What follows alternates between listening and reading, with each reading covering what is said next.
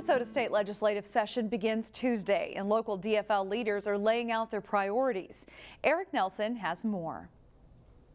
On a clear royal blue sky day in St. Paul, the DFL presented a clear 2020 vision for the upcoming session. Minnesotans have told us that they want a Minnesota that works better for everyone. They've told us they want world-class schools, affordable and accessible health care, economic security for their families, and safe and inclusive communities. Local DFL leaders Melissa Hortman and Ryan Winkler want to close the opportunity gap that exists in some communities and push for early childhood learning. We think that the most important thing is to get kids off to the right st start. And in order to close the opportunity gap, we have to look at those littlest learners. The Dems also want to create more affordable daycare options in Minnesota. Childcare is a crisis throughout Minnesota, whether that's in the suburbs, whether that is in rural communities, whether that's in expanding uh, regional centers. Uh, regardless of where you go, the ability to find childcare at all is increasingly difficult for Minnesota. Other key parts of the DFL values plan include being active on climate change and passing tougher gun laws. Everybody who uh, wants to purchase a firearm should have a criminal background check. And we need to make sure that guns are not in the hands of people who shouldn't have them when they shouldn't have them. House Speaker Hortman is hoping that Republicans, in her words, will stop creating division with their stances on immigrants and the poor. This demonize and divide, uh, it may give them some partisan advantage in some uh, political races that, that are running, but it's ultimately very destructive. Now, of course, if the Democrats want any of these changes to happen, they're going to need bipartisan cooperation because they are in the minority in the Senate. Reporting in St. Paul, I'm Eric Nelson, CCX News. The Animal Humane Society is trying to ease concerns about the coronavirus that originated in China and has caused a global health scare. In veterinary medicine, the coronavirus is actually a very common respiratory infection in cats, and it often shows up as a gastrointestinal illness in dogs. The Animal Humane Society has heard from people expressing concern about getting the virus from their pets, but experts say that is not the case. Coronavirus is very species specific, meaning that the species of humans only have to worry about catching it from other humans. Dogs catch from dogs, cats catch from, catch from cats, that kind of thing. The coronavirus is also typically not fatal for pets. Meanwhile, coronavirus concerns have impacted Maple Grove's largest employer. Boston Scientific reported this week that its global sales last year reached its highest point in 10 years.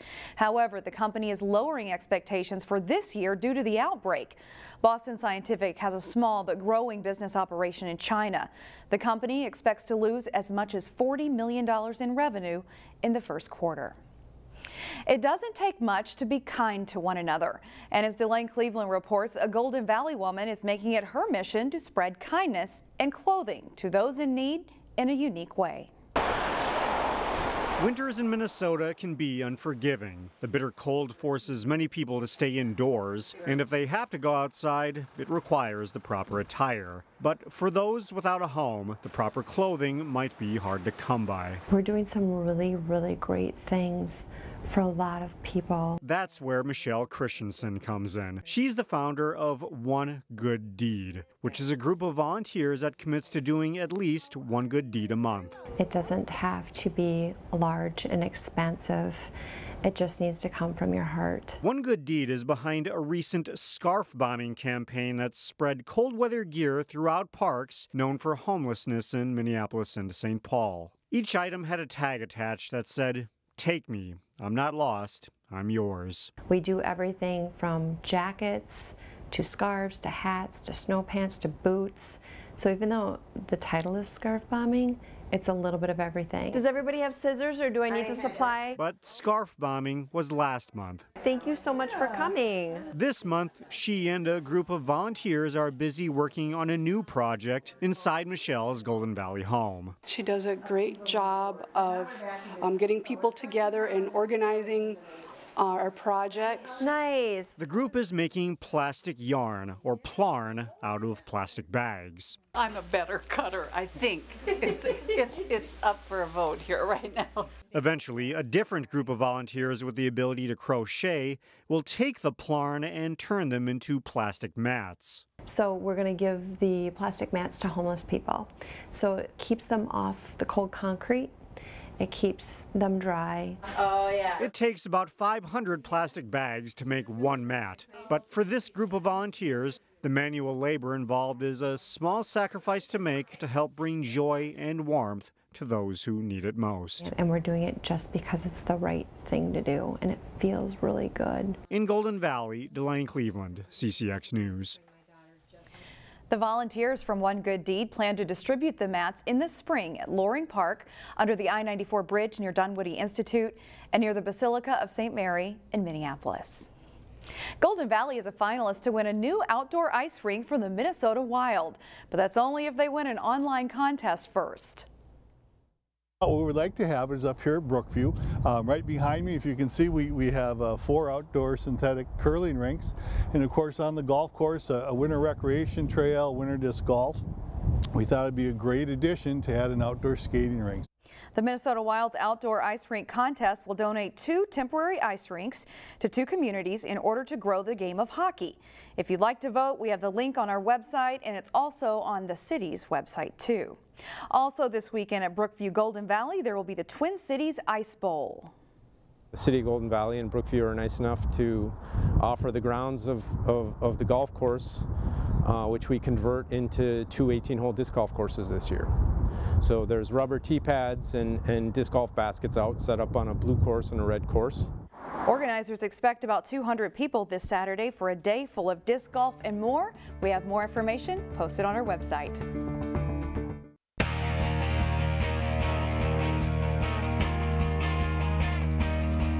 Spots in the state Nordic ski meet are on the line this week. A picture perfect day greeted skiers at the Section 5 meet. Highlights from this one, Maple Grove's Christina Bolser starts with a sizable lead in the girls' pursuit after a strong classic race, and she wins easily by more than a minute. Bolser helps the Crimson to the team title as well. Grace Collier of the Crimson races well and she places fourth. Maple Grove's Lauren Tillman edges Champlin Park's Annie Miller for fifth place. Miller advances to state as an individual. Then it's the boys' turn. CJ Young of Maple Grove starts second in the pursuit. The boys' champion, Cooper Lennox of Mora, he has 45 seconds ahead of the rest of the pack to easily win the section. Young of Maple Grove holds on to second place, and the Crimson also take the boys' team title. Nick Chomey of Osseo is headed to state as an individual after placing third. Champlin Park's team is second to also qualify for state. Jack Nightingale on the left is fifth, two teammates right behind him. We talked to three state qualifiers.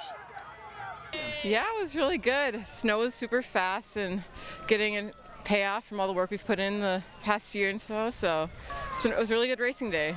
I qualified. This is my third time for Nordic now, so I knew I wanted to again. And our, my biggest goal for today was to get the team there with me.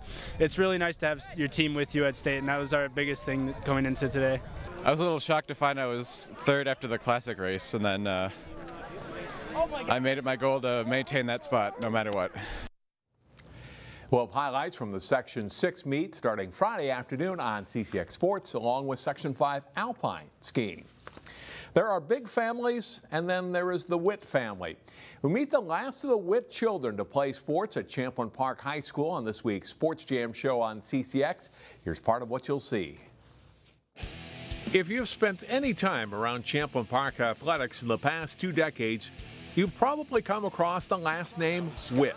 Back out, Witt for three, and that's good. Dominic Witt is the last sibling to suit up in navy and silver and there are just a few that came before him. So it's Melissa, Brady, Adam, Jenna, Dan, Matt, Colin, Courtney, Zachary, Brennan, Claire, Cam, Lauren, and me. That's 14 Witts, nine boys and five girls who have all played at least one varsity sport at Champlin Park. And yeah, people know who Dom is. It's pretty well known with my friends. They're like, oh, or like when I first met them, they're like, oh, are you one of the 14? I was like, yeah, I am. Like they knew like my siblings growing up because like they would come to the games and hear like my brothers and sisters' names be announced. You can see the rest of that story and more on the February 3rd edition of Sports Jam. Look for it online at ccxmedia.org. If you've ever been fishing and wonder where the fish are hiding out, Terry Tuma offers some areas to look in this week's CCX Ice Fishing Tip. There have been several questions asked about what is the difference between a transition and an edge. There really isn't any difference, but we as anglers, open water and ice fishing, must understand what's more commonly referred to, especially in the Midwest, edges. Transition areas are also identically the same, and what it is, it's a sort of a refined area, different than the surrounding areas. For instance, we all know about weed edges. We've heard that many, many times. A hard bottom being a softer than another edge, but the clam bits are that's an edge right at the edge of that. A current break is an edge. Uh, fast water being slow water. Uh, algae blooms is an edge. You can go on and on. Of course, then with vegetation, you can have two different type of weed growth. And generally speaking, when you have that weed growth, where they meet that becomes an edge. Also, two is another edge is where that weed growth does meet. But generally speaking, there's going to be two different types of bottom. And then you want to carry it to the next step, looking for something unique or different. Just because you have an edge, maybe you want to look for an inside turn. Maybe there's some rocks along that inside turn. You need your electronics. If it's newly, get a map out. And what really affects these locations, along with these uh, concentrated areas of edges and transition areas, of course, is food. No food, no fish, and fishing pressure is the second element.